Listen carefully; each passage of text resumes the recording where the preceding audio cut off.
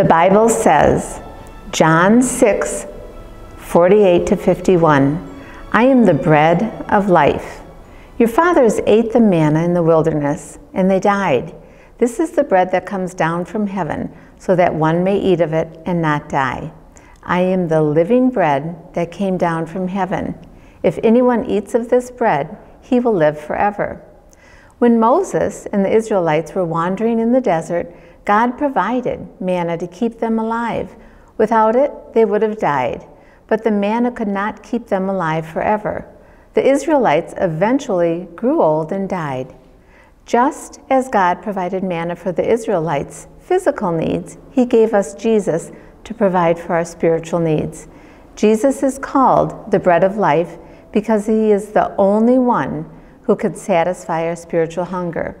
But unlike the manna, this bread of life has the power to sustain us forever. Eternal life only comes through Him. God bless your day.